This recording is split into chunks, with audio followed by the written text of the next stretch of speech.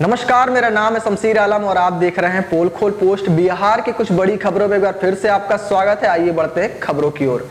RJD नेता शिवानंद तिवारी ने कहा, संकट के दौर से गुजर रही ममता बनर्जी की अगुवाई में टीएमसी।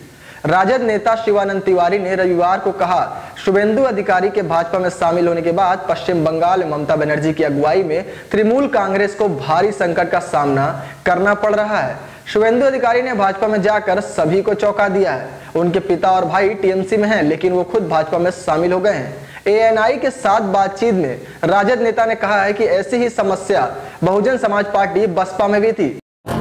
2500 साल पुराने अवशेषों को देखने पहुँचे सीएम नीतीश। कहा बदलेगी कोसी की धारा, विकसित होगा गुवारेडिया मुख्यमंत्री नीतीश कुमार ने रविवार को बिहारपुर में गुवारेडीह में कहा है कि पुरातत्व अवशेषों के संरक्षण के लिए कोसी की धारा मोड़ी जाएगी। ढाई हज़ार साल पुराने अवशेषों का पूर्ण अध्ययन कराया जाएगा। पुरातत्व विभाग और जल संसाधन विभाग की पूरी टीम कोसी, कछार का उत्खनन कर अवशेषों को खोजेगी। इसके लिए जल्द विशेषज्ञों की टीम भेजी जाएगी। मधुबनी जिला में बेनीपट्टी विधानसभा स्थित लीलाधर उच्च विद्यालय परिसर में किसान चौपाल सम्मेलन।